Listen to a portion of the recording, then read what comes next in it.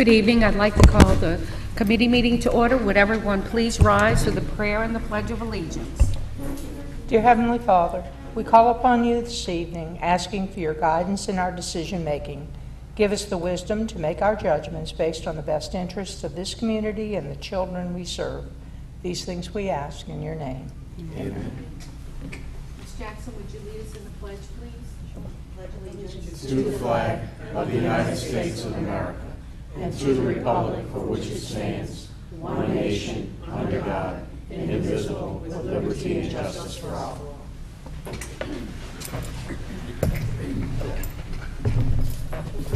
Roll call, please, Ms. Foche.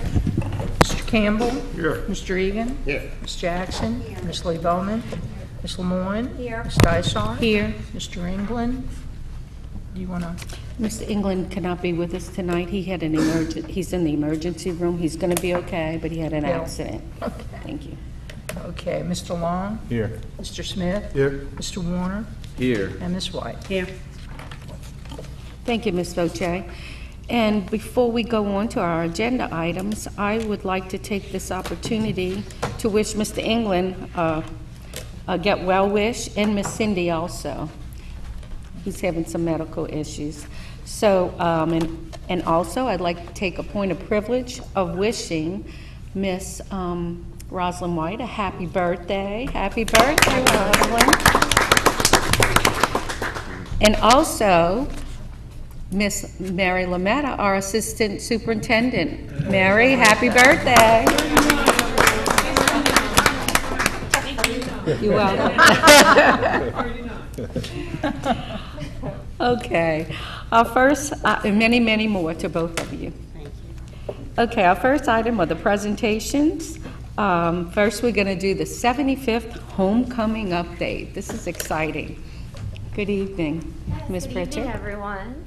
Um, yesterday, we sent out a press release about Chalmette High School's upcoming 75th homecoming.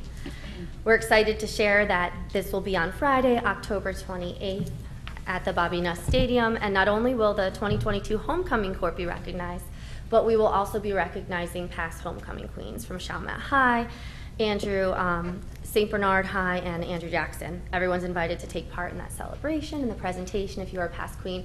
I heard maybe that Miss Dysart was a previous homecoming queen. Is that true? No. Oh, I was. Excuse me, I was just a maid. Okay.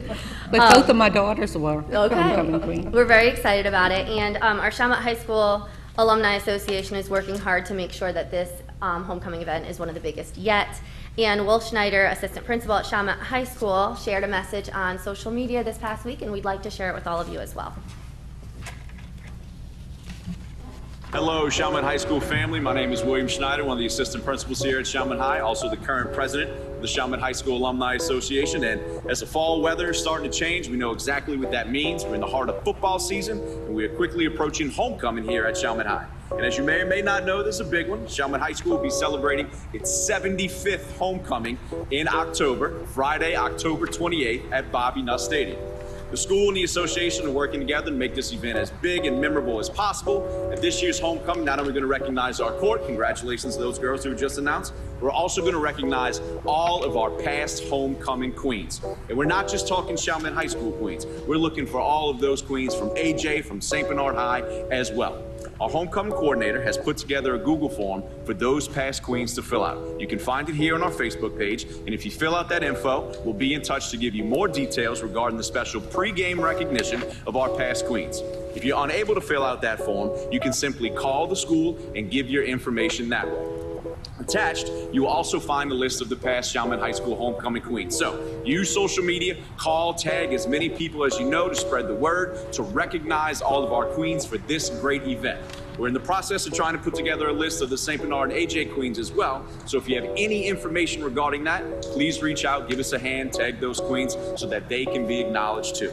Now, following the homecoming game, the Alumni Association is going to put on an alumni social so that the past queens, court members, alumni, you can socialize and reconnect. Light refreshments will be provided.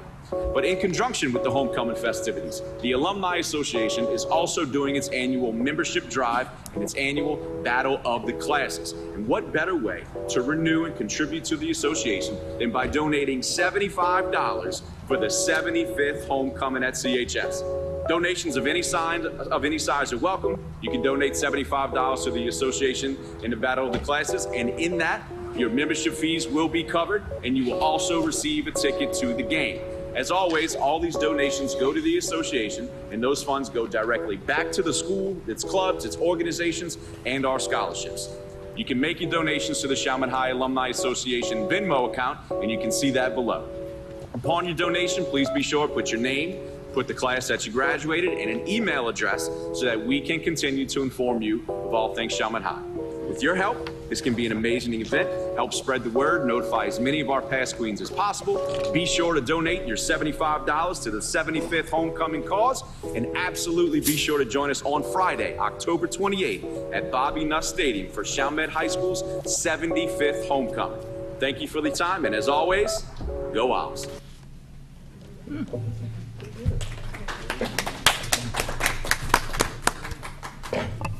Anything else, Ms. Pritchard? That was it.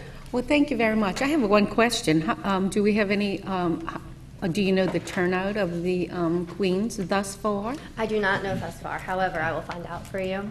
Yes. And um, just a reminder, you can find all the information out for that list um, on Facebook. It's also now on Chalmette High School's webpage, or if you don't have access to either of those things, if anyone is um, a previous queen, they can go ahead and call the school and we'll help them out. But I'll find out how we're doing so far. Okay, Thank you. And congratulations to all the, the homecoming court, the queen and all the, the maids of uh, 2022. Congratulations to the homecoming court at Chalmette High. Exciting time. Thank you, Ms. Ms. um, Pritchard. Okay. Next item on the agenda is the Reading Association presentation. And with us tonight, we have Ms. Tessie White. Come on up, please. And This is Miss Marcy Fidel. Marcy Fridella. Hi, Marcy. Vice Good President. evening. Okay, and as everyone knows, I'm Tessie Whitestein. Hi, how are you guys tonight? I am actually the treasurer of the Reading Association, and I'm joined here tonight by Marcy Fidella, our vice president. Uh, we want to thank you for allowing us to present tonight, and we look forward to sharing our great news with you and our upcoming events every year.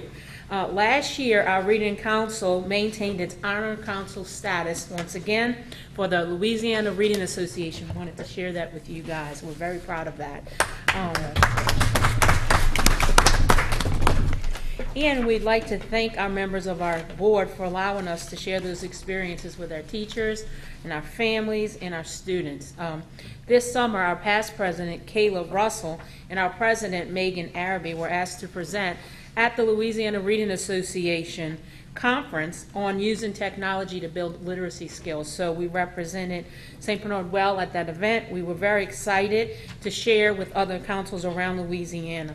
And we're lucky also at that event, um, we had several LRA state winners. So Miss Yvonne Ben won Educator of the Year, not only for our local district, but for the state. And also, we have two others. Miss Heather Morrell, Educational Administrator of the Year, not only for our local council, but for LRA. And Miss Lexi Pritchard also won Media Award, our local council, and for state. So we submit every year our winners, and we happen to get three of them at the state as well. We're very proud of that.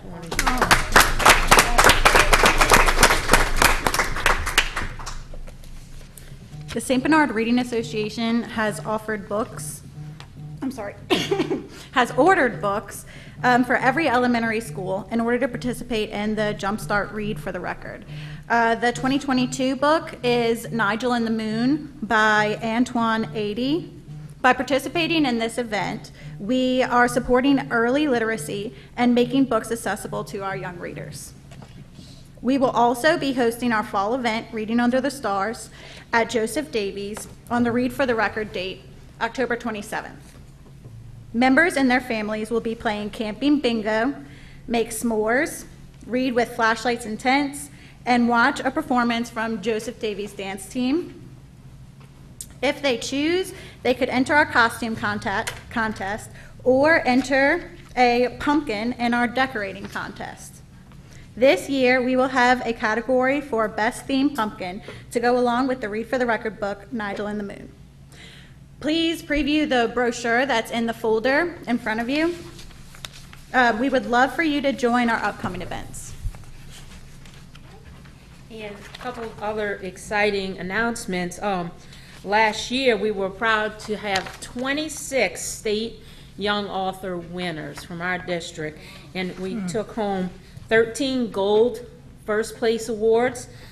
We have six um, silver second place awards and seven bronze third place awards. So we also had 108 district winners from our local young author contest, which was really super exciting. That's amazing.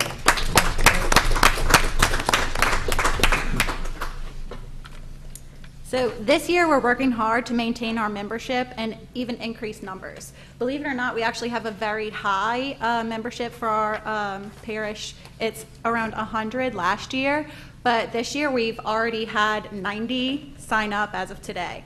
So we would like to start increasing our membership, and we really are focusing on new members and student members. So that way, um, we can get our future educators involved. Also, um, Megan Araby, our president, has been in contact with Chalmette High, and we are pleased to announce a few of their future educators have also joined. Great, That's great. Yes, and we're working closely with Nunez and with UNO to increase our membership for our future educators as well. So that's been exciting. Um, we we're really looking forward to you guys, um, re, you know, joining again this year. We know you guys always do. We're looking forward to a very rewarding year, and hopefully we'll see you at some of the events. But we did want to say thank you for your continued support of the Reading Association. So this year's bag from the LRA conference says Reconnecting Through Literacy, Louisiana Re- Reading Association 2022. So Miss Bernie Hambryce had these made for you guys, and she wants this- us to say on behalf of our association and the Louisiana Reading Association, thank you for your continued support. Thank Oh, very nice. You were just going for it. Take charge, that's what teachers do. Okay. That's right. Thank you. Why don't you put one right here? Okay. Thank you. That's good. No. Thank you. Thank you. Okay.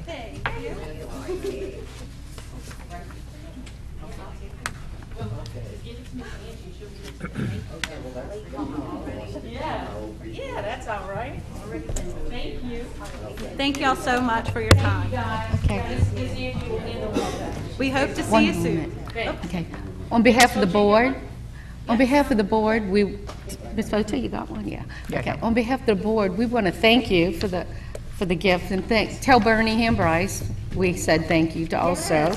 And um, we want to thank you for all that you do to help lit- with literacy and with Reading Association. And um, I'm sure uh, everyone here will probably join or rejoin. And so, um, also, congratulations to all of our, our winners statewide and locally, and especially to all the students, 108 of them. That is Yes. awesome. That is wonderful. I'd love to see the list, if maybe you could And we share that with us. Yes, I could get that list for you And- of the, the, the students' names, and last year we did a, an award ceremony, and we presented all the, we did our drive-up award ceremony, hoping to go back face-to-face this year, because it- we- we've always enjoyed our face-to-face events, so. Okay. But I I can get you guys a list of that. We'd appreciate that if you could send it to Angie, and then she could just, you know, email us Exactly. with those names.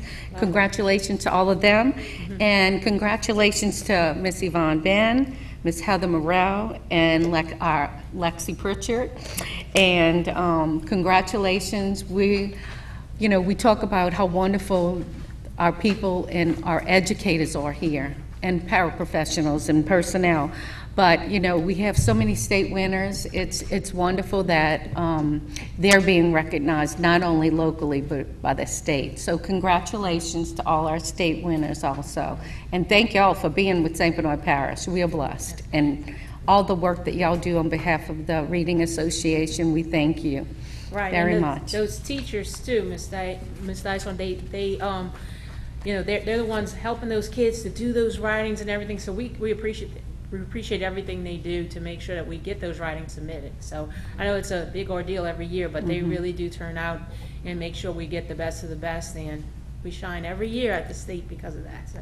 That's awesome. It shows our educators are wonderful, and we appreciate their extra time and efforts with the, um, the the writings also. Ms. Lemoyne? Thank you, Ms. Dysart. I just, again, thank you to the Reading Association, and I wanted to thank you all for inviting all of the, the Nunez pre-educators to be a part of the association. It gives them such a great opportunity for professional development, you know, within our school district, um, but also some great fellowship with other educators. And again, thank you for all that you all are doing outside of the classroom and in the community. I know for the last two years, you all have made a concerted effort at part of your meetings to collect non-perishable food items for the food banks in our community. So you all have been so generous with us at the college for our food pantry. I know at the community center of St. Bernard as well. So thank you all for, you know, all that you do within the classroom, but also the community. Thank you. Thank you. Anyone else? Okay, thanks again tonight, for for coming tonight and all, and all your good works. Thank you very much.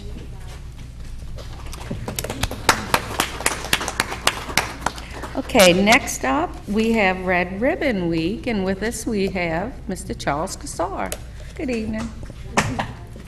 Good evening, everyone. Once again, a privilege to bring the 29th Red Ribbon Experience. 29 years, you guys. This is the 29th, and maybe the theme just hits the nail on the head gratitude. The gratitude of this community, the gratitude of people one to another, the very reason that St. Bernard is what it is to so many to so many people is the community and the connection. And it is so important that we are able to impart that to our students, that our young people live in harmony and in gratitude to one another. And you guys, it's part of the journey of what we need to do as educators, as community leaders. And our, our theme that has been set in motion by Ms. Voce and you guys and Lexi of gratitude is kind of our original work. What you see, and I have the privilege of celebrating with you guys tonight, um, Miss Sarah Fidela Felt. Sarah is not just the art teacher at uh, Davies Elementary, but she is part of our amazing team of collaborators who create and make, and with the things we do, it doesn't just happen. She's part of that process, and I wanted to be able to do a real shout out to her because she represents so many who works with me. Does that make sense? And we are a team. And the banner that you see in back of you guys is her work. Obviously, all of that that you've seen that Lexi and Ms. Voce have worked on with the quality report and so on, she's been the visualist to make that come to life. And I wanted that to be part of our Red Ribbon experience so that the theme is so very important, one, but then secondly, that it's modern, it's right now. You know, visuals are contemporary to young people, and we need to say it contemporarily. Which brings me to the point of this whole journey of bringing a message to kids about being responsible in their decision making. It is so important that we bring that message not in a dreary way, because the world is already dreary enough for kids. But instead, that message need to be, needs to be brought with enthusiasm, hope, joy, and a convincing spirit that what we're saying is this. We want to give you facts. We want to give you real information, not fear. To give you facts so that as young people you can make your own decisions. And those decisions hopefully will bring you to success rather than to failure. So that's, that's the rumbling theme, you guys, of the whole journey for this particular school year. We will be doing um, rallies at the Cultural Arts Building for our 6th, 7th, 8th, 9th, and 10th grade students. So we've got a lot to do in a short amount of time to incorporate this message in a fun and uplifting fashion, and at the same time, to continue to bring the message of, and I've been very privileged to have some volunteer community people that are working with us, Mr. Vijay Dotrieve being one of them. And when we did Too Good for Drugs at Chalmette last year, right after the tornado, no less, VJ was able to help, I think, bring before our ninth graders at that point. He said, You know, I've been trained as an attorney to think logically. We all make mistakes. We do things that are right and wrong sometimes. But the important thing is to give you real fact, realizing that as adults, you're going to make decisions, and we want to help you to make those right decisions. And that's the journey, you guys. From our kindergartners, K through five is doing second step. And second step is an emotional, social program to help kids learn how to get along. Imagine that getting along, behaving, being uplifting, uh, setting goals, and wanting to do good things. And we roll that right into the middle school for sixth, seventh, and eighth. And then at the 10th, the ninth and 10th grade level, we're doing Too Good for Drugs with a team of motivational speakers that tie into that. So it's a pretty aggressive uh, journey between now and the end of the school year, but uh, kids, kids are not stupid today. Kids realize what we're saying is true.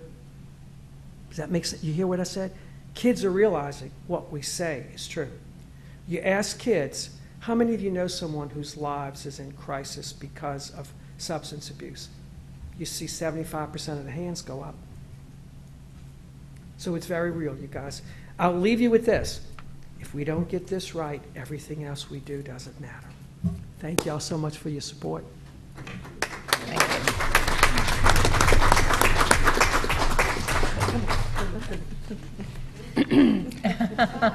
Hi.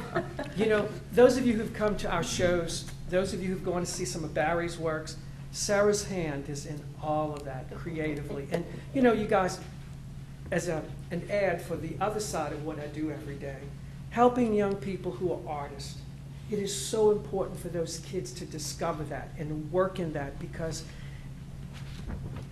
it's the journey.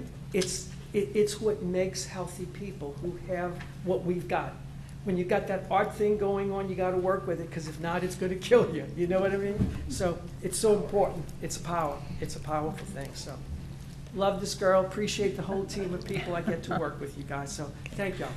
Thank you. Mr. Casar and Ms. Feld, thank y'all for coming tonight. Thank you so much for your presentation and all the hard work that you do for this program. And Ms. Feld, we've heard you're a wonderful teacher besides your, your regular job as a teacher, but also helping out with all of our special programs. We appreciate it. Thank you so much. And Mr. Casar, you also, you always do a great job, and we appreciate what you do every day. Thank you. Appreciate you all. Thank you. Anyone else? Okay.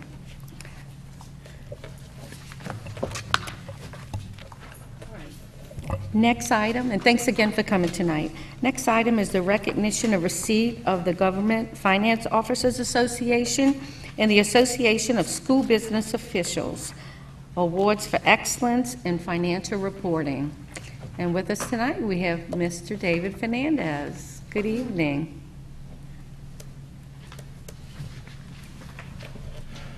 Good evening. Uh, In your package, you have the notification that we received both these awards again. Uh, As Mr. Casar said, it's the 29th Red Ribbon Week. It's also the 29th year that we've been awarded these awards.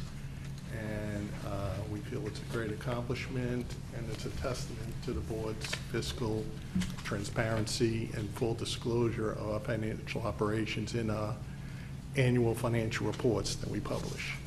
Um, And it goes hand in hand, and I'm equally proud of the 29-plus years that we've had clean audits, because that is another testament to the school system's fiscal responsibility, the board's responsibility in overseeing the financial functions of the school system, and prove to the public that we responsibly handle the finances of the district. So it's a team effort of an entire business department, and I wanted to recognize, we have a couple of the members of the department here tonight. Uh, Michael Morrell, who you'll talk to in a few minutes about, who runs our food services department, and probably the most important member of the business department, many people would say, Brenda Brown. is. She won't come out here, but she's hiding on the side, but many people will say she's the most important because she is the payroll department for the school system and handles One and only. payroll for the entire 950 uh, employee base twice a month. So all the efforts of them and the other members of the business department come together to accomplish these uh, awards and these honors. So I just want to recognize them as well. But thank you for your recognition tonight. Mr. Fernandez, thank you. And um, in the, in this award, it says the Government Finance Officers Association Certificate of Achievement for Excellence in Financial Reporting, St. Bernard Parish School Board, Louisiana, for its annual comprehensive financial report for the fiscal year ending June 30th, 2021. And there's also a certificate, and we usually get a plaque too, right, Mr. Fernandez? That comes later down the line. Deliver a plaque at a later time. Yeah, okay. And it's the Certificate of Excellence in Financial Reporting to the St. Bernard Parish School Board for its annual comprehensive financial report for the fiscal year ending June 30th, 2021, and the district report meets the criteria established for the ASBO and the National Certificate of Excellence in Financial Reporting. Well, I just want to, on behalf of the board, Mr. Fernandez, thank you and your entire staff for all the hard work that y'all do. We appreciate it. We know that it's not just, um, just for the, the- the- our large, over $80 million budget that, that we are the stewards of the, of taxpayers' money for, but it's each and every individual school, they all have, have to report, you know, everything they purchase, everything they, um, it's, it's, it's, it's a lot more extensive than, you know, just the things that happen here in central office. But you do an excellent job, and so does um, Mr. Morrell, Ms. Brown, and the rest of your staff. Thank you so much for all your hard work. And, um, you know, it does show that we are good stewards of the taxpayers' money and we are transparent. And if you would, if you can just um, uh, talk a a minute about what we go through when the legislative auditors come, and, well, our auditors, not legislative auditors, um, but the auditors come and they do a a complete audit. Mr. Fernandez, if you would explain? Yeah, that well, It's that- not an easy award to receive, and this is, this is great that, you know, um, now 29 years, it's wonderful, but if you would explain what goes on with, with the audit, and how long they're here for, and, and how they delve into the books. Correct. We go through an annual audit every year, we're required by law and by federal mandate as well. We go through an extensive audit every year, and every year, the standards get more and more stringent, and the auditors look more and more closely and delve more into uh, the financial records, and not just that, the internal controls, uh, how we prevent fraud, how we uh, how we handle our assets, how we preserve our assets, and safekeeping of our assets, and that. And they come and they do a very extensive review, and at the same time, they do what's called a single audit, which is a separate audit of our federal funds, because that's required by the federal government, which they take the funds which we will get tens of millions of dollars every year in federal funds, and they will focus on those expenditures as well and do testing as that as well. So it's a very extensive process, and we've been very fortunate for, as I said, the last 30 years to perform very well. We've had no findings, we've had no questioning costs, we've had clean audits every year. So we do a very good job, if I can brag on my department and my staff, in being very open and transparent and uh, very responsible with the finances of the school system. And it's also testament to the board and the policies that you pass that uh, require us to do that. But uh, that's it. Yeah. Ms. Voitier? Yeah, just, just adding to it, because I know uh, Mr. Fernandez can be very modest at times, so, and most of the time, actually.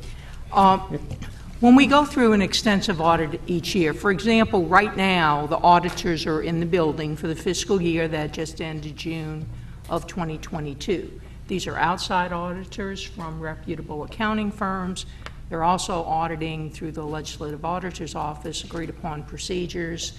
We go through federal audits and compliance monitoring just constantly all year round. Well, they will then come out and um, Mr. Fernandez and his department puts together a uh, comprehensive document which exceeds, what, 150 pages, 200? It's over 200 pages. It's over 200 pages at this point because you have to adhere to all of the GASB um, bulletins, the generally accepted accounting principles uh, that are recognized nationwide. And that document that we put together is over a 200-page document outlining, outlining all of the funds received, all of the expenditures. They go through our bid documents to make sure everything was properly done. Um, It's very, very, very extensive. And as Mr. Fernandez said, for the past 29 years that we've been involved in doing this, which is almost unheard of in governmental accounting, we have never had a question cost. We have never had an incident to repay any funds to any agency whatsoever. We have never had not even a management letter with suggestions for improvement over um, internal controls. And when I talk, when the auditors do the exit, uh, the exit interviews with us each year, they, they are amazed in that year after year, they can't find anything that we have done, and not even an adjusting entry to go back and fix. So these, this 200-page document then that we put together that is fully audited, then we follow the guidelines set up by the um, GFOA and ASBO International to actually produce that and put it into the public arena so that it's all transparently, it's all transparent out there. So that document tells the community, if you go through, where every dollar comes from, where every dollar goes. And what these awards for that we're looking at tonight are for excellence in reporting to the community these operations and how they've been done. So it's really a two-step process. The audit is done by independent certified public accountings and some of the major firms in, in the metro area. Legislative auditor has a part in it. Uh, federal compliance monitors and auditors have parts of it. Once that is done and they find out, as we have had in 29 years, not one question cost, then we produce the document, we put it out there for the public view, and those documents that we produce for the public view garner these awards for their complete transparency and presentation to the business community and to the community members at hand. So it's a very, very lengthy and exhaustive process. Not only do we have that 80-plus million dollar general fund budget and tens of millions of federal funds coming through, we have just, we're just wrapping up, you know, a 17-year process with FEMA, where over a half a billion dollars has run through this school system of FEMA monies. And we were held up as an example of one of the local entities that did everything the right way with FEMA dollars. We did not have one questioned dollar in the entire half a billion dollar operation as we rebuilt schools, as we um, used the funds to replace instructional materials for our students. So under the leadership of this board, the financial operation of this school system has been pristine and above reproach and has been audited by every agency there is to audit people. It seems like we're constantly under that. So I just want to, you know, uh, applaud Mr. Fernandez and the business crew into another job well done this year. And at our, at our actual meeting, we should have the results of this current year's audit. And we'll go through that process again. They'll be completing it as we speak. Um, In another two weeks or so, that document will be produced, and we'll be going through that same process for this year as well. Um, So it's an ongoing, and, and I think too, under, under the leadership of this board, what people have to understand, with all of the monies that have come through us, especially with the rebuilding with FEMA, and what y'all had done, and this was another thing that we garnered, I think, praise from, from the um, feds when they came in and they looked at the FEMA dollars and such, we not only were able to rebuild or build all of the new schools that we have done and refurbish the um, existing ones that could have been remodeled, uh, we also still had to pay debt off on the buildings we had prior to Katrina, just like if you had a home and that was destroyed, you still had a mortgage on it, and you still had to pay your mortgage off while you rebuilt your home. Well, the same thing was true with the school system. We had to rebuild schools, but pay off existing bonds for prior building projects. And what this, you know, what this board had done in conjunction with all of us working together is to build all of these schools and facilities and replenish it without having to go to the taxpayers at all for any increase in local revenues. And then with that, we're able to say, okay, we've got all these new facilities, how do we maintain them? What plan? And with the advanced planning that we've been doing the last 15 years, is that we now have, we repurpose some of the debt service, as you know, the debt service millage into a maintenance millage. So we now have an ongoing fund to maintain the facilities. So the planning that was done by the school board and the administration together to rebuild all of the facilities and to set up a maintenance plan that was going to be ongoing has really just now being completed and coming to fruition and was sound fiscal policy that we have been um, applauded for by all of these agencies that have um, funded these particular projects that we have had. Thank you, Ms. Voitier. Mr. Long? Well, I just wanted to add my congratulations to Mr. Fernandez and his staff. Uh, uh, Ms. Voitier touched on some of the points I wanted to make, but 29 years, uh, this, that's a long time, before, during, and after Katrina. And uh, it's just uh, amazing. No, no findings, no, uh, no exceptions in 29 years. Wow. Just And I have Thank to you. mention that it was all started by Ms. Voitier. She is the one that applied for the very first Correct. award and continued for a few years before she became the assistant superintendent, so. So thank you very much for the job you do. Are there any other questions or comments at this time? Mr. I, I Warner? just want to make a statement. 29 years, congratulations, Mr. Fernandez. Thank you. You know, it- and what it goes to show is that the citizens of St. Bernard Parish are getting the most bang for their buck when it comes to education in St. Bernard Parish. And I recently had the opportunity to attend uh, a Chalmette High swim meet. And what an awesome facility that is. And to think that, you know, we're offering all of our second graders free swimming lessons throughout the parish. Who else does that, right?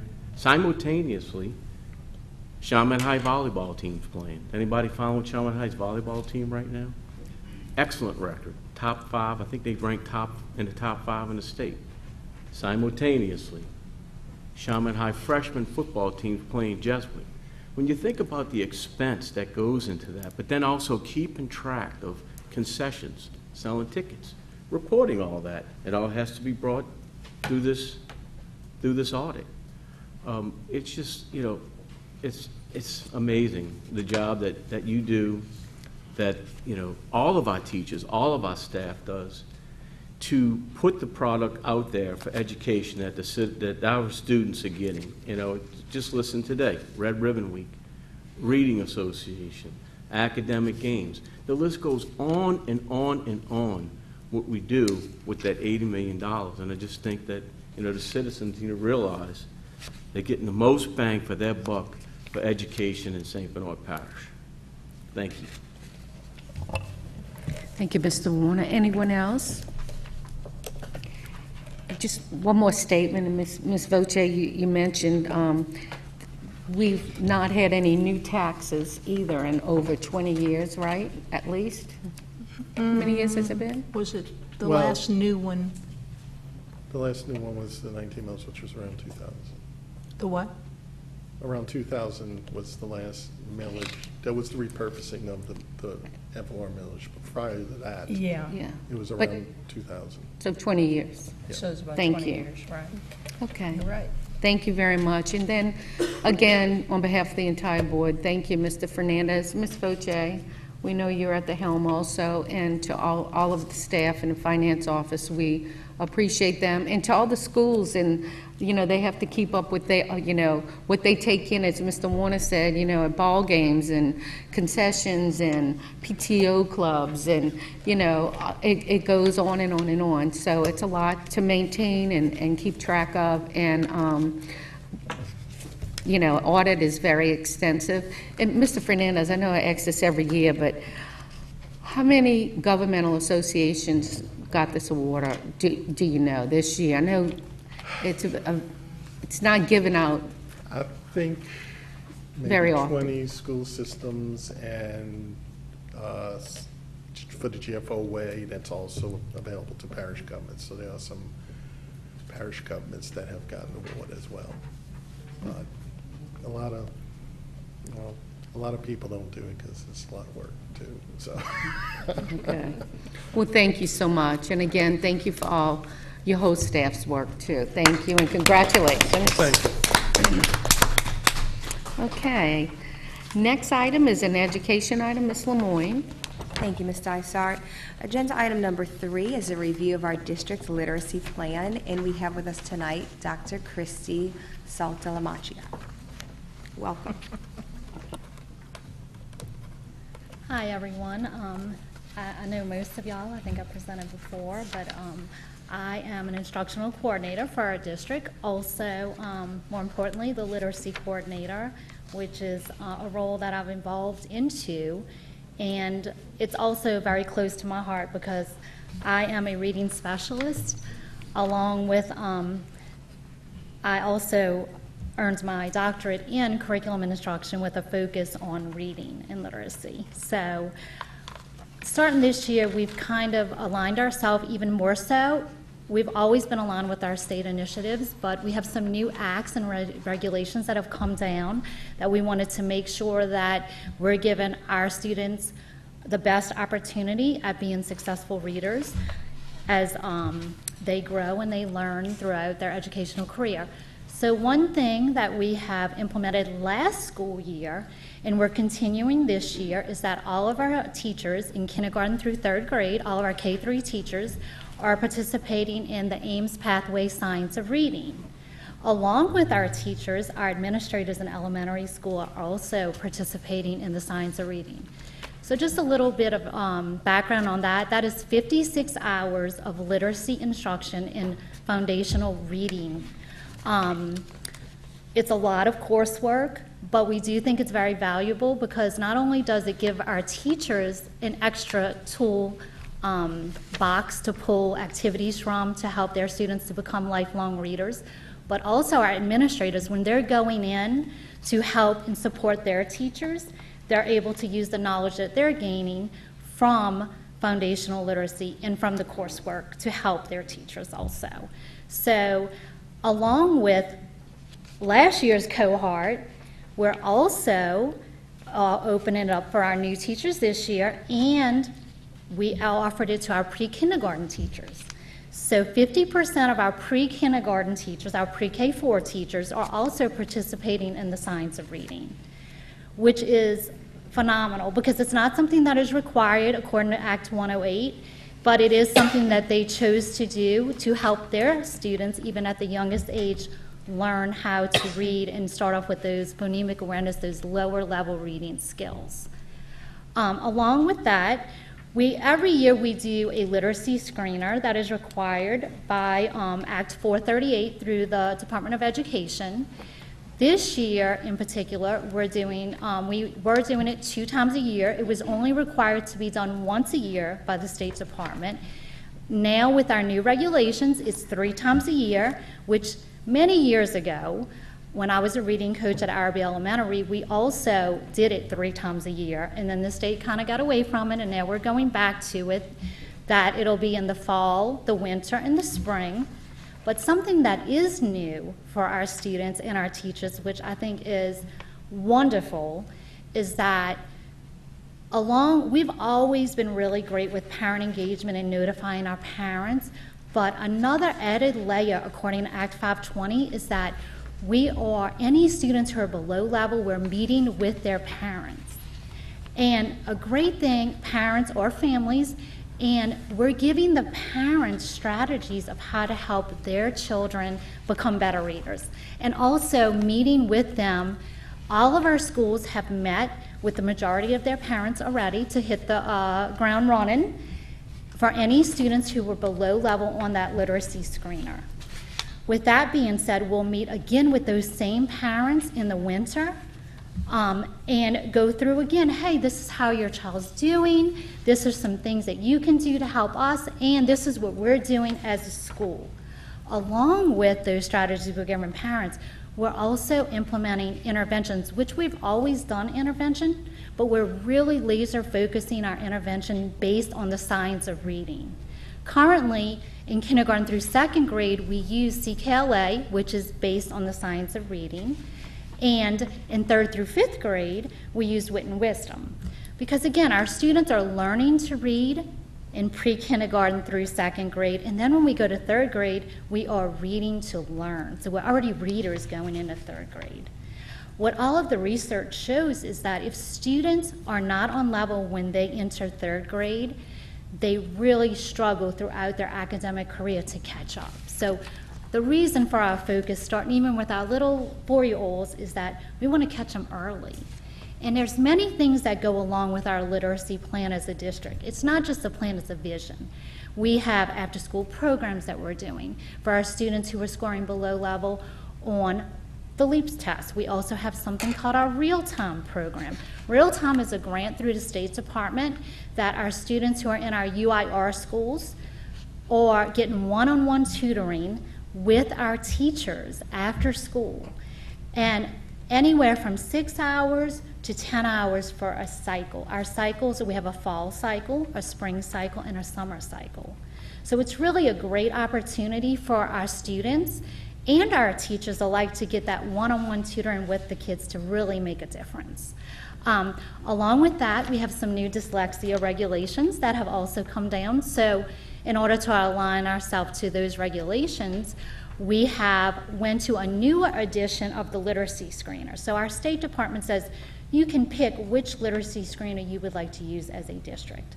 We were using an older version of what we call DIBELS, and now we're using a little bit of a newer version because it has more components aligned to the science of reading and also align with our regulations to meet our dyslexia guidelines. So, something that's new for dyslexia is we've always screened our students at the end of second grade. We started the mid, and then we would look throughout, you know, second grade. By we, what was required is that we screen them by the end of third, but we always did it in second. And then anybody who we didn't catch in second grade because they were new to our district, we would catch them in third grade. Well, now with our new dyslexia regulations, we're looking at kids every year from kindergarten, first grade, second grade, third grade, and at any time a parent can request that we screen students for characteristics of dyslexia. But our focus as a district is to make sure we're catching them early.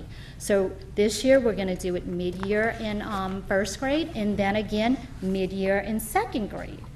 And that way, anybody who's not here in first grade, we're catching them up in second grade. So it really is, um, many of these initiatives coming down are really great things for our kids and our district as a whole. Because again, we know students have to be able to read to be successful in life. And that is our ultimate goal, is for them to be productive, lifelong readers and great citizens and contribution, contribute contributors to our district and our parish.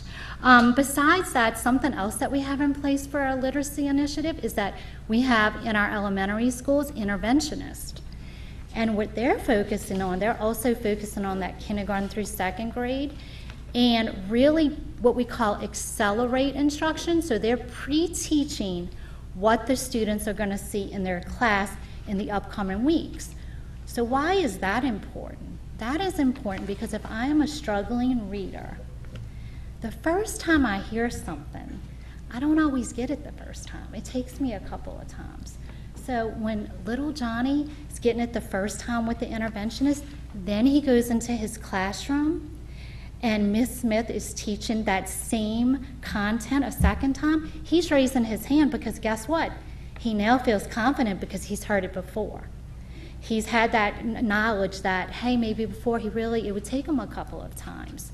So it really has been, we've done that in our summer learning program this past year and the year before last with the Accelerate approach, and really have gotten some great feedback from our teachers when the kids are starting class in August, they're, and they're actually able to answer the questions and feel like, hey, I feel confident in my answer because I've already saw, have seen this vocabulary word, I've seen, read this book before.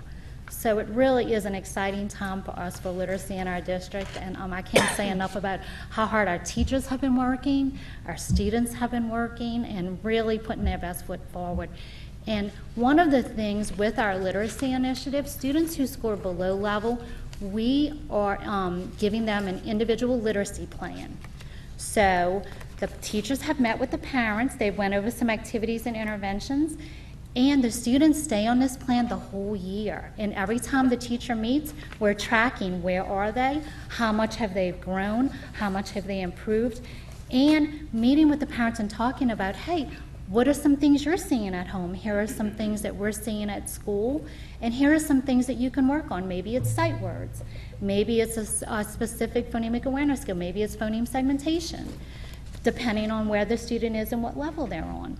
So it really is that liter- individual literacy plan will follow the student throughout the year, and then when we rescreen again in the fall of next year, if they're then on level, then they, we can back off on that plan a little bit. It really is a great thing. Um, and we've gotten really good feedback from our parents when the teachers are meeting with them that they really feel like, oh, this is great. Um, I can know what to help my child with. And it's the beginning of the year. So I have all year to help my child along with their teacher. So it really has been a really great thing for our district in general. And we also have another part of our literacy plan is that I, I don't know if any of you have checked out our website lately, but on our um, school website we have a literacy page. And we have activities for parents to do at home. And on that literacy page, there is a preschool page, elementary, middle, and high school. And it's just little activities that if the parents choose to do or to have some extra things to help their child at home, um, that's on it. So check it out whenever you get a chance. Um, it really is great. And I've been working on it and building it out a little at a time. Um, besides that, this year, well, in previous years before COVID, and, and that's one thing also that I'd like to talk about. A lot of the um, struggles we're seeing with students is because they were not in school for two years. So if I'm a fourth grade student and I missed two years of schooling, um, I'm struggling right now because I missed those foundational reading skills. So that's why we're really working on that approach of making sure that we're putting everything we can out there for our students. But besides our literacy page, our elementary schools are also going back to doing math and literacy nights. Many of them have already started having them. Um, where the parents can come into the schools. They also, and I'm super excited about this, our middle schools are all doing a literacy week, which is so much fun for our middle school students that, hey, reading is still important when you're in middle school because we all know that that middle school adolescent age can be a struggle sometimes with academics. So um, I think that's all my information I have to give you. All right, thank you so much, You're Christy, for welcome. that comprehensive uh, presentation. Thank you. And uh, I definitely share your passion for literacy and was blessed to be able to work with you in the school system as a literacy coach. So very familiar with, with the Dibble screener. So how does this new screener compare to what was being done in the past? So what was done in the past was um, the literacy screener that we used was um, had different components throughout the year. So I'll use this as an example. Um, for kindergarten, they would start out doing letter naming and first sound. So, what sound do you hear in this word? What's the first sound you hear? Um, but then mid year, they would change to phoneme segmentation, which is tell me the sounds, all the sounds you hear in a word. Now, the newer DIBELS has the same test all year. They don't, so they have four different tests for each grade level, and it stays the same throughout the year. So you really can chart growth because the test, now the cut points of where you need to be to be on level changes, it progresses up, but the assessments are the same throughout the year, that consistency. Also, because now we're looking at different grade levels for our dyslexia screener, mm-hmm. by having those different tests in every grade level, it allows us to be able to meet those standards also. Um, And then just two quick questions. So for the AIM pathways, where Mm-hmm. the teachers are getting the professional development, who's delivering that? So it is through AIM Institute. Okay. And it is an online course. Um, along with the online component, they also have four community of practice virtual meetings per year, um, through the course. They take a pre-assessment, the teachers at the beginning, and then they take a post-assessment at the end to see their growth in their knowledge, how much knowledge they've gained also. And then the only other question I have is the um, DIBELS assessment that's being given Mm-hmm. three times a year. Who's administering that? Is that the coach and the interventionist, or the- is that being done by the classroom So we have a teacher? DIBELS team at every school. Okay. And it just depends on the school what that looks like. So in some schools, it may be um, the art teacher uh, or the librarian, or it could be the counselor. Um, It's all certified teachers who give that assessment, and they're train, I train them every year. And they go in, you know, they go in and assess the kids um, throughout the year. It really, we left that up to the administrators of who they chose to pick that they felt was best suited. Because again, when you're given a DIBELS assessment, it, there's many things that come into play. You have to be able to listen to sounds as the student is reading. You have to be able to discriminate: is the child saying the correct sound? So sometimes um, it's who, it's all the time. It's who is best to give that assessment.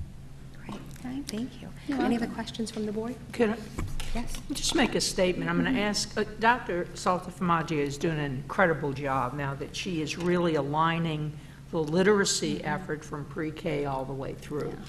I I just wanted to comment a little bit on the science of reading training. You know, many years, uh, there's a, the pendulum that swings. Yeah. Um, And I know former teachers that many of you are, realize that, and now, my being a math teacher, I'm a little bit out of my element in teaching reading skills, but at some point, you know, it was a, um, you did everything by phonetics, then that pendulum swung a little bit, and you got into this whole language movement, and sight words, and all this type of of uh, different ways maybe to teach children how to read. And as we all know, they're all individual, and some strategies work better with some kids and others work better with others. But the latest research that has come out, and this is what we're talking about with the science of reading, is the methodology that they feel is uh, working best for the majority of the kids. And I'm going to ask, um, you know, Christy to kind of explain that a little bit what it is. But what's happening with it, many of the teachers who had come out of teacher prepar- preparation programs through the universities were not taught these particular skills in the science of reading. So right now, statewide and really throughout the country, teachers have to go back now and get the professional development in this particular strategy. Correct. So that's what we talked about, where all of our K to three teachers are going through that 56-hour professional development course training to make sure that their skills in this methodology is up to date. Now, we also operate our own teacher preparation program, Teach St. Bernard. So we have to incorporate this PD, this professional development, to get our new people that we're certifying up to date with it. And the colleges and universities are now changing their um, courses so that the graduates are coming out of the teacher prep programs, whether it be the college and university or the alternate certification program such as the one that we are doing, with those, with that training in hand and that knowledge in hand. So we're in this stopgap, uh, I guess, time where we have to retrain our existing teachers. But it should be, as they're coming out of the preparation programs, they should be coming out with these skills. And if you talk just a little bit briefly about what exactly that is. Yes, so previously, years ago, like you were saying, we had whole language and that blended approach. And actually, our teachers have been using the science of reading since we adopted CKLA, and I want to say it was 2012 when we adopted that curriculum, but I might be off by a year or so, because all the years are starting to run together. It's about 10 years ago we did right? Um, so they actually were doing the science of reading, but didn't necessarily have the uh, pedagogy to know what the, the terminology was for it. So when we took a pre-assessment, many of our teachers didn't realize this pedagogy goes with this, this terminology, even though they were already doing it. So now, having the science of reading, they really are looking at this is what I do. This is what my curriculum is, my tier one high quality curriculum. This is what I do every day. So it is a blended approach to teaching phonics and phonemic awareness and the progressions of reading. You know, we all know that, you know, we start with our phonemic awareness, phonics, and then it is, you know, our fluency, vocabulary, and our comprehension. And what I really like to stress, I've met with every, I think I have 180, 90 elementary teachers. So the first two weeks of school, I met with every teacher in our district in elementary school and went through why we're doing what we're doing, all of these initiatives that we have, all the different acts, um, and why it was important for us to really embrace this um, newer way, but yet still the same. It's really an older way, but a newer way. And really talk to them about, you know, if our students are struggling with reading comprehension, and this is the one thing that really shows you how, like, the science of reading is really built out. For students who are struggling with reading comprehension, there are many things underneath that. So many times parents will say, or teachers, or grandparents, or caregivers, I just can't comprehend. When I was in school, I just couldn't comprehend. Or students will say they can't comprehend, but there are many things underneath comprehend, reading comprehension. So if you think of reading comprehension as the top, and then underneath all of that, there's all of these little supports, like a table would be. So is the reason that the table is weak is because the child can't read fluently? Is it because they are lacking in phonemic awareness? What is the reason? So what I like what I've taught the teachers is that think of yourself as a doctor. If you bring little Johnny to the doctor and he has a fever, and the doctor says, I don't know, he just has a fever, bring him back home. And you bring him back, you bring him home. He's still got a fever. Well, you're not getting an answer of why he has a fever, right? He has to run tests, he has to run diagnostics. Same thing we do as educators. We run, in the beginning of the year, we run diagnostics, we do screeners. What is little Johnny's reading deficit? Where is he struggling at? It's not just the comprehension. So, really pinpoint, and that is when I say our laser focus what is little Johnny missing so we can help close that gap and then address where he is and get him back on track. Okay? Because we are always going to have different individual learners. And that's really the basis of the science of reading. Really laser focus, looking at all of those little tiny individual skills. You know, one of the things that it promotes is soundboards. You know, looking at all the different sounds. You know, in fourth and fifth grade, many students struggle to pass a core phonics screener. Well, and I know y'all are not familiar with that is, but what that is is that can students, they should be able to pass that by the end of second grade going into third grade. So where are we? And we think, oh, fourth and fifth graders, they're already readers. They are. But that doesn't mean they're lacking in skills. We still, you could be a great runner, but still have a way to improve your running, right? You could be a great swimmer, but the more you practice, the better you get. Same with reading. So if they are lacking, say, in multisyllabic words, what do we need to do as a district, as their teachers, to make them where they are where they need to be and that they can succeed? Questions for Christy? I have one. Diane? Thank you, great presentation. If you would, explain how the intervention is working time-wise with our students, please. Okay, so I'm glad you brought that up. Our students in kindergarten through second grade have 210 minutes a day for reading instruction. Of that 210 minutes, 75 minutes is focused strictly on intervention. That means intervening where the students' deficits are. So that means the teacher pulling the, this group of students to her table and working with them. So let's say Carly is lacking in CVC words. She, I might have a CVC group that, and when I say CVC, consonant, vowel, consonant, that means like cat, mat, nip. Okay. Um, she's going to pull them to her table every day, and she's going to work to shore up those skills. Well, then she might have another group that's working on fluency. So that group might be working on what we call six-minute solution, where they're doing fluency passages every day. Um, besides, so when the students are not doing intervention for those 75 minutes, they're doing core instruction. That means every student has a right to grade level content. That means content that is on and even a little bit above their level. They have a right to that.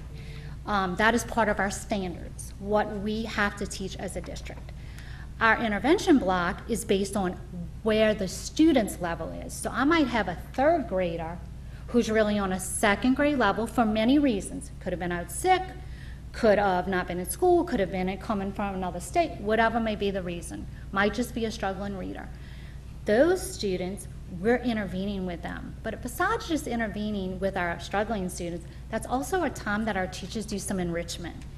So it's also about, even though the, a lot of our focus is on our struggling readers, those students who actually are on and above level, we need to push them too. We don't want to forget about Miss Catherine, who's in my class, who's super bright. I don't want her to get bored, so I want to make sure I have things aligned. So I'm going to pull her to my table, and maybe she's a second grader, but I'm working on fourth grade comprehension passages with her to really push her. But our intervention block is solely focused really on focusing on those students who we need to get on level. And again, like I said, we have 75 minutes a day for K through second. Third grade is 60 minutes a day. And the reason third grade is less than kindergarten through second is they have to teach science and social studies every day um, in order to meet the standards for our state assessment. Okay, but in K to second, our standards we are much less in comparison. So, and we really are still remember learning to read in K to second. So that's why. Thank you. You're And- Excuse me, I know we also have interventionists who come into the school and pull out students, and then Yes. after school, we're doing interventions Yes. also, correct? Yes, we are. So Could you explain that, Sure. So the way our intervention program is set up, our teachers do interventions with their kids in our class. We also have interventionists who pull out, and those interventionists, remember, they do the accelerate approach. They're pre-teaching content that's coming up so that the students are hearing the content more than once so that they can be successful with it. Um, and then we also have after-school tutoring or intervention. Um, it really is more of a tutoring for after school. So that is our real time, which is our UIR schools that we focus on. Um, and also our after school tutoring for students who um, were not proficient for our state assessment. We offer that to them. Um, and that's also in middle school too. They have after school tutoring. After school tutoring starts the first week in November and it goes all the way up until state assessment. So it really is, we have many opportunities for our students um, to be given tutoring. And again, this is something that, you know, uh, for a parent who really wants to see their child have extra help, it really is a great thing. Thank you. And with the parent piece, um, do you- find that the the meetings are going well and the parents are definitely participating? Absolutely. Our pa- and I, you know, I have to give my hats off to my administrators. They really have worked hard to get our parents in, you know, to be flexible with times and schedules. I've, I was at a school the other day and they were meeting after school because a parent, you know, couldn't get there during the day because of their work schedule. Um, it's really been great. The parents feel like they're walking away with something in their hands also to help their child. Because again, remember, many in many instances, the first time a parent meets the teacher, for academic feedback, not just for, hey, this is open house, is report card conference normally. So by getting them in early, we're hoping to prevent the students from struggling when it comes time for report cards. We're hoping that we're, we're getting them right out the gate. And that way to give the students the best opportunity to be able to perform on level. So yes, we've had really great feedback on it from our administrators, our teachers alike. Um, you know, and again, I'm gonna, and, you know, when we first brought, you start, you know, I rolled it out in the beginning of the year. It was kind of like, whoa, wait, hold up. you know, we just starting out school, and I'm like, I know, but we need to hit the ground running. So, really has been a great thing. I've had um, text messages teachers have sent me. They're like, hey, let me tell you what happened in this meeting. Let me tell you how great this was. You know, and um, it really is. I think feel like a great thing for our families as you know a parish. So. Thank you so much again, Uh, and for all you you. do, and, and for the teachers who, who go way beyond. and- Absolutely. And, um, and to our administrators also. Uh, Literacy, as we all know, is the most important, one of the most important, you know, um, devices for any child to succeed. So, not devices, but, you know, lear- um, teaching. So we appreciate the, the great efforts on, on the literacy program, and um, thanks again to you and to all the teachers and administrators. Thank you. Thank you. Any other questions or comments for Christy? I have a question. I wanted to know, do you, uh, do we provide after-school transportation for the students too? For tutoring after school? Yes, for after-school tutoring, we do. They, um, you know, we have our school buses that they take, and um, they go, you know, they get dropped off at their house after. Yes. Now, our real-time tutoring, which is a grant, the parents bring them and pick them up, and some of the kids do it virtually if their parents uh, choose that option. That's good to know. Anything else? Thank you. Oh, thank you very much. Thank you, Ms. Lemoyne. The next item is the review of personnel changes for October 2022. Good evening, Ms. Pritchard. Good evening. After listening to all those presentations, I'm even more grateful that five of my grandchildren are in our district as students. Makes me excited. Um, you should have the personnel changes to review. Uh, last time we talked, I was trying to recruit, we were trying to recruit a, a counselor from Miro, and we got her. So we're very excited about that. Um, we are still looking for middle school sped teacher, a high school sped teacher, ELA, and math. We have interviews going on this week for some of those positions, but we are, we are looking for those when we're always looking for bus drivers, custodians. Um, I just want to acknowledge um, Julie Gannard, who is uh, retiring from the Transportation Yes. Department, and she's not only been a a great teacher, but also a great supervisor of the transportation. So um, I just want to tell Julie, thank you for all of your hard work and many years of service, and happy retirement, you will be missed. Yes, 33 years she had. Mhm. And also to Melissa Collins, who was an um, elementary teacher at Lacoste for many years, and I I had the privilege of of my grandchildren having Yes. her, and she's an excellent Excellent teacher. teacher. But we thank Melissa Collins for all of her hard work and many years of service. She was excellent, and um, happy retirement to her also. Yes. Anyone else? I- I just want to chime in on, you know, Julie Gennard, who's been with us 33 years. She, um, you know, started teaching math at uh, St. Bernard High, and believe it or not, I think she even did a stint at helping to coach the football team. did. She At- did. So Julie is a woman could of see many, that, many though. talents um, when she was at St. Bernard High at that point. And then at uh, one time, she was the principal of our alternative school and then the supervisor of transportation. So she's a multi-talented uh, woman who has really devoted her career to our students and our school system and our community. And uh, she's still going to be around, and we'll call on her uh, now on a volunteer basis. Um, So she's been a tremendous asset. We're sorry to see her go, but we hope that she really enjoys her retirement and has more time to spend with her family. Yes, yes. Okay. Anyone else? Yeah, I just wanted to comment on Julie. Um, Congratulations, well-earned, well-deserved. I just um, celebrated, we, we together celebrated our 40th high school reunion, and I served on a committee with Julie, and uh, she worked like, worked me like a rented mule. Just so you know. But uh, hardworking, so she did all her dr- bus transportation stuff and still pulled off Still pull that off, a 40-year class reunion. So congratulations to you, Julie. yes. Anyone else? Mr. Campbell? Yeah, I'd like to echo with Julie. I talked with her years ago.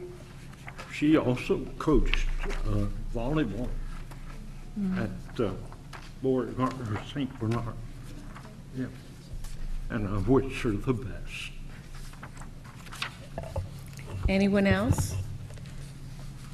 Okay, just one more comment. Um, I see you uh, hired a bus driver. That's Yes, good. Yes, that's always good. That is good. That is. keep 'em coming. And we need Keep more 'em bus coming. drivers. Yes, yes. So It's they a- can apply with Ms. Pritchard. Okay. Bus drivers, cafeteria. And all you Thank you. need is a desire to learn to drive the bus, because we do train people to become bus drivers and help them through their certification process and helping them to acquire their CDL license to actually drive the bus. So we start you from square one and help train you. You just have to have, now, I The don't think I desire. could ever do it, to be honest, but, uh, No. uh, you have to have that special temperament to drive a busload of students. Um, But if you Definitely. feel that you would like to do so, we will train you from square one and work with you to get you proficient and help you to get your license to drive a school bus. Thank you, Ms. Foche. Anyone else? Okay, thank you, Ms. Thank you. And all your hard work. We appreciate it. Okay, next item is a uh, Finance Committee item. Mr. Warner. Thank you, Mrs. Dysart. 5.1, request for permission to advertise to bid for food products, period of January 1st, 2023 through June 30th, 2023, for Class 2, 3, 5, 6, 7, 8, and 9 seasonings, staples, canned goods, frozen foods, poultry and eggs, meat and meat products, and seafood products. I believe Mr. Morel, it is Mr. Morel. How are you today, sir? I am doing well, Mr. Warner. Hello, everyone. Uh, So yes, I am here to ask permission to advertise and open bids uh, for food products for the period of January 1st, 2023 through June 30th, tw- uh, 2023. Have a, a motion by Mr. Smith, second by Mr. Long. Do we have any questions for Mr. Morel? Being none, we have a first and a second. Please cast your vote. Motion passes 10-0. Thank you. And just a reminder, um, this week is National School Lunch Program Week, so I look forward to seeing everybody. I've I've been getting a lot of feedback from everybody, so I look forward to seeing you for the rest of the week in the cafeterias. Thank you. Thank you.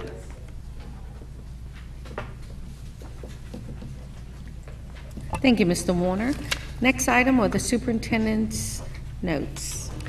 Yeah, just to reiterate, and we have this listed on the agenda, again about the audit, the, we should have the auditors here at the next board meeting. It should be complete within the next two weeks, and they'll be coming to give you their final report on, um, you know, the year ended June uh, 30th of 2022. Um, With that, as well, it's just a reminder that our students are going to be participating in the Veterans Day Parade, which is scheduled for Sunday, November 6th.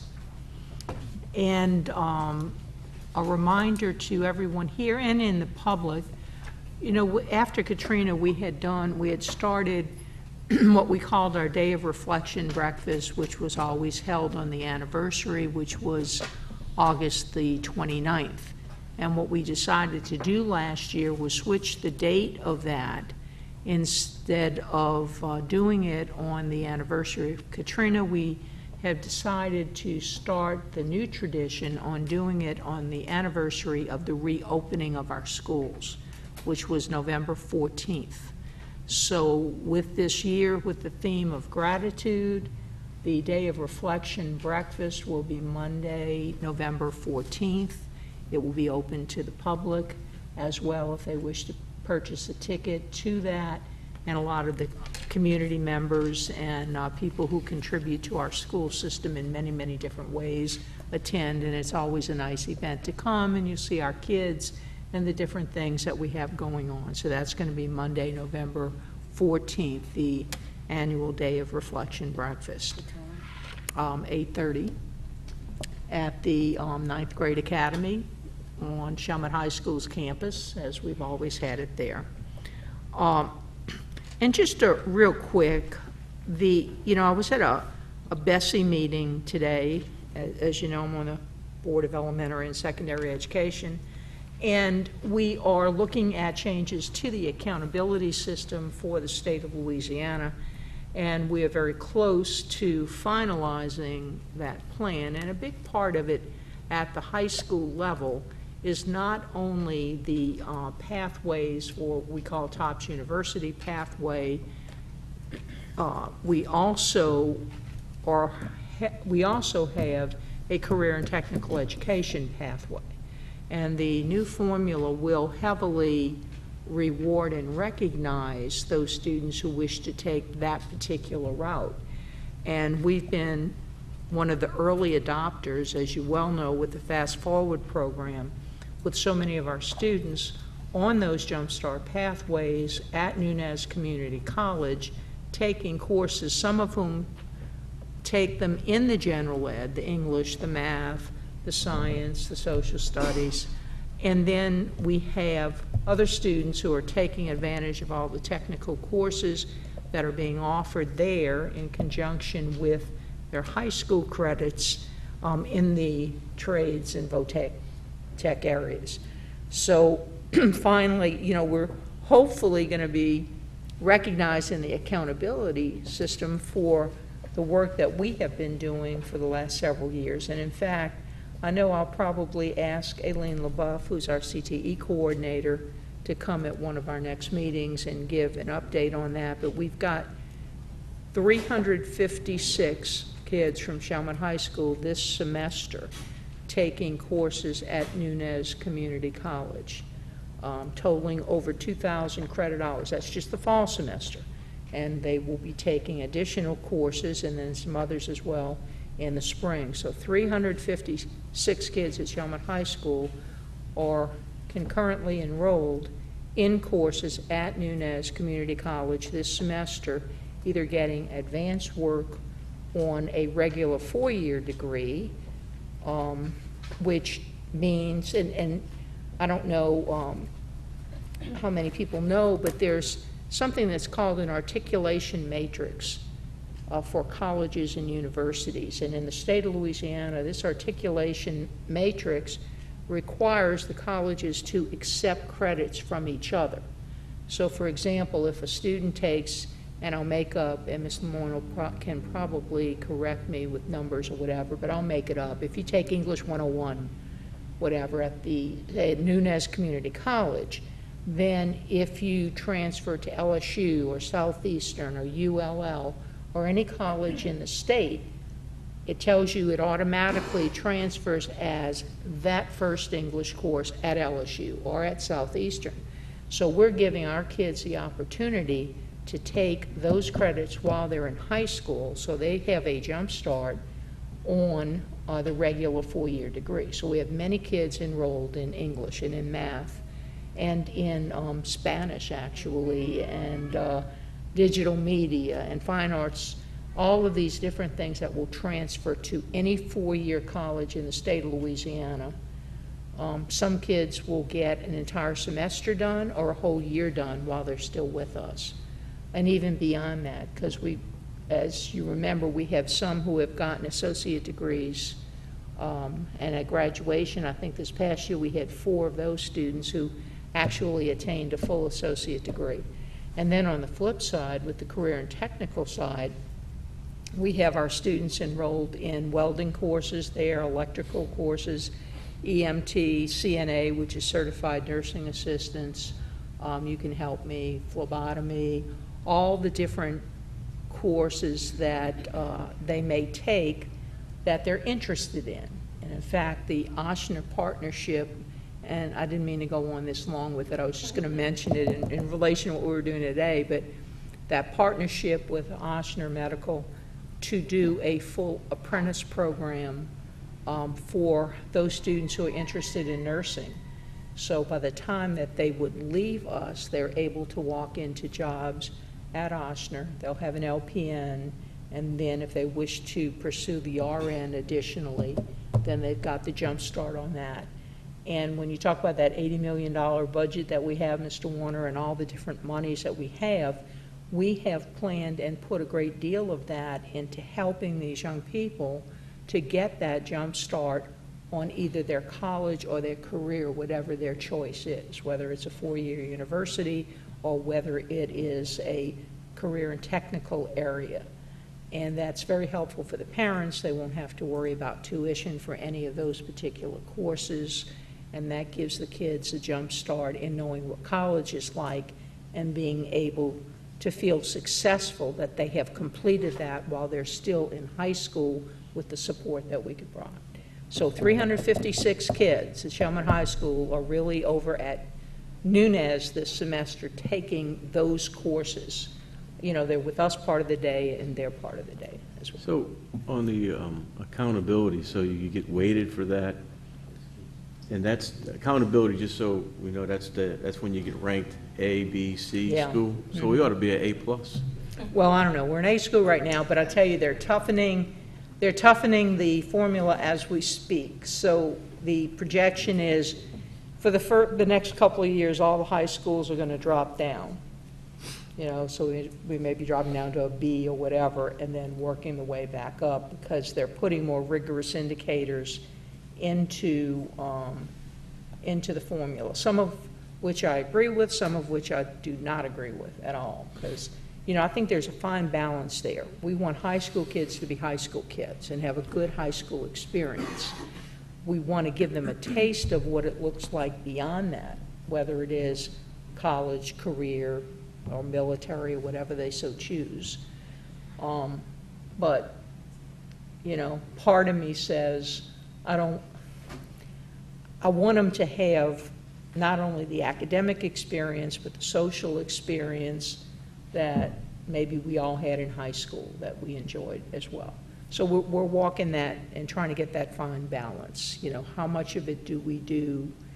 And what we have, we run the gamut. If we have a very committed, serious student who wants to go through and get a full associate degree, and we have them, you know, they can get 60 hours of college credit before they graduate high school and then get that associate degree. If they want to get maybe, you know, 12 hours of college credit or 15, which would be the equivalent of maybe their first semester, that's going to be available to them. If they're trying to earn an industry-based credential in welding or electrical or certified nursing or one of these other areas, we're going to have it there, and we do have it there for them. And we're f- much further along than most school systems because we've been doing that for several years now. And um, it's, it's getting more and more expensive. And one of the things that we discussed today at the BESE meeting is when we send the MFP, which is the Minimum Foundation Program formula, to the legislature for approval. Um, We had a public hearing on that today, and I think what we're going to be trying to do is to put more funds within the MFP for the legislature to approve for funding these programs, because it will be heavily emphasized in the high school uh, program. That makes sense. So we need to get our legislators on board with that because our business and industry, uh, business partners that we are, that we talk with all the time and who are on our advisory councils, and as we create these programs in high school, they have tremendous input into what they're looking for um, as employees. Um, They're behind this initiative as well.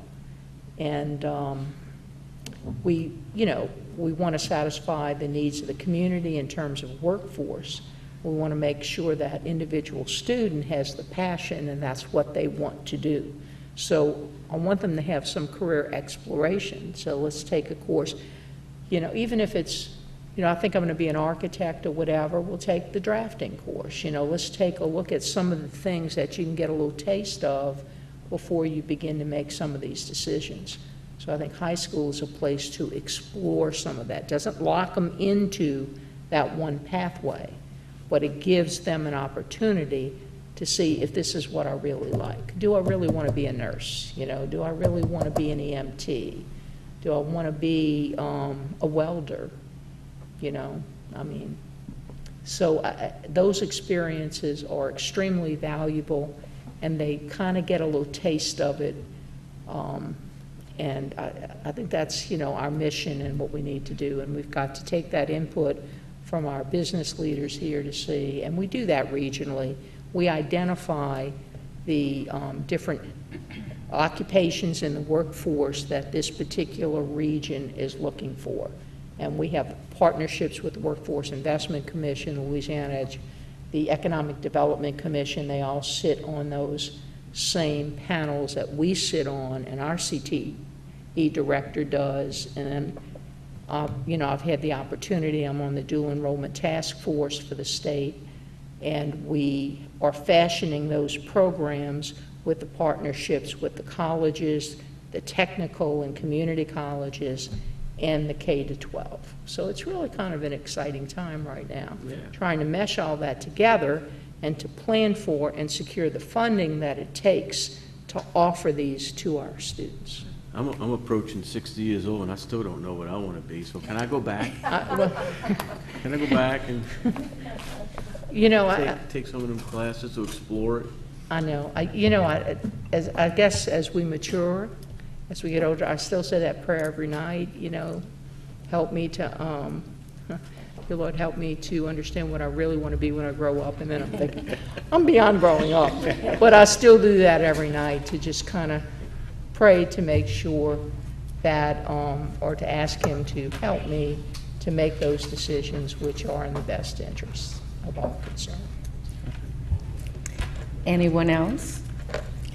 Just real quickly, I just want to say, our first dual enrollment program started in the late 90s. Mhm. And I think we may have had maybe three students, three or four students who were involved, and we've grown, and not only the 350, over 350 students who go over to Nunez, we also have, you know, where they, they get credit, credits at the high school level too, when they test out and with Mhm. advanced placement. And so, you know, hours equal money for the, saved for the students and for the parents in the long run. Like you said, even if they get one year or two years of college, that's, and they get tops, um, or they don't get tops, that's money for those hours at a, at a, um, a four-year institution or a Mhm. two-year institution that they don't have to come up with later. And so um, it's, it's, and the beauty of it all, they can remain in high school and Yes. still get the high school life, but also get the college credits. So it's, it's a beautiful thing and that we, it's just grown tremendously and, um, you know, we're very fortunate here to offer s- that program to our students. Because money-wise, it is such a barrier for many of our families. I know when I, when I went years ago, it was a barrier for me. You know, I had to take loans out, we had to mm-hmm. work while we went to school and those kinds of things. And whatever barriers we can remove for our kids and give them the opportunity to do that while they're still in high school is what we should be doing. And that's why we're so excited about that particular program, so that all children in this community will have the same opportunity for that type of an education and the education that they choose and the career pathway that they choose and wish to be on. Anyone else? Ms. Lemoyne? Just really quickly, I want to applaud all the Chalmette High students who are doing the dual enrollment courses with us at the college right now. Um, I get the pleasure of getting to see them each day and what they're accomplishing, and so many of them that are really going above and beyond the coursework that they're enrolled in to do things outside of that on the weekend to earn additional industry-based credentials. For example, the forklift certification. If you're Mhm. 18 and you have your driver's license, you can register to do that. It's free to the students. And so it's just another um, another tool in their toolkit that helps them with employability right after high school, um, because we know that high school, you know, that degree is important, but you need some credential after that. Not everybody is set out to be on a, a four-year college pathway, but what our students are getting in terms of exposure with industry-based credentials is tremendous. So we're so proud of them and happy to have them on campus with their Chalmette High sweatshirts. Thank you, Ms. Lemoyne. Anyone else? Okay. There being no other business, is there a motion to adjourn? There's a motion by Mr. Campbell, seconded by Mr. Egan. All in favor of the motion signify by saying aye. Aye. The meeting's now adjourned. Thank you and good night.